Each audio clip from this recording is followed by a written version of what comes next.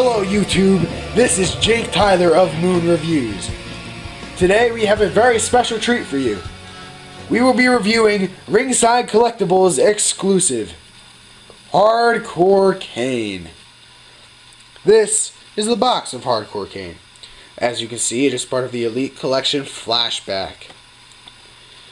It says Kane on the side and on the top in that handwriting. It also says that this box includes the WWE Hardcore Championship. First figure to come with that.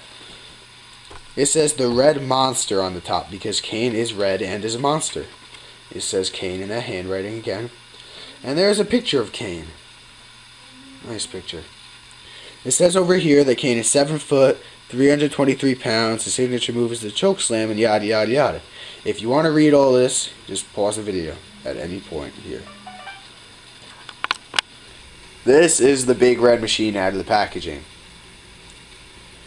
He has flames coming down his singlet. Very nice. One flame down the chest there. And let me get rid of this championship. There we go. Flames coming down the back. The hair is very good. It's not like the other figures where it's rock solid. It actually moves a little bit and you can turn his head and everything. It's good. Flames coming down the sides of his legs. Got the black boots. They're high boots. They're nice. It's very nice. Very detailed figure. This is Kane's face. The mask is very detailed. Got the red and black stripes going down it. Very nice. The old mask, obviously. You can see his eyes through the little eye holes, which is very nice, detailed. See his nose. Uh, you can see a little bit of his mouth through the mouth hole. On his left wrist, he has a silver studded gauntlet. Okay. And on his belt, he has silver studs. And then on his right arm, he has the one glove that he always wears. It's black. And oh, and it says Kane on it. I guess he can't remember his name or something. That also has silver studs. And now, the moment we've all been waiting for. Boom, boom, boom, boom, boom, boom, boom, boom, boom. The Hardcore Championship. Like I said before, this is the first figure to come with this belt. Uh, it's kind of terrible. I mean, when you look at the, I mean, I don't mind it just because I like it.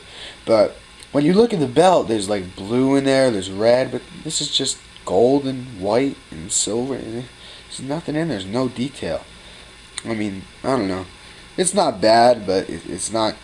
It's not great. Like like you'd expect that for the first time they're making it, it'd be pretty good, but this is just average. But you know, whatever. Well, we're coming to the end of our review of Hardcore Kane. Let me just show you a little trick I forgot. You can tuck the belt under his hair so he can hold it really nice. Pretty awesome.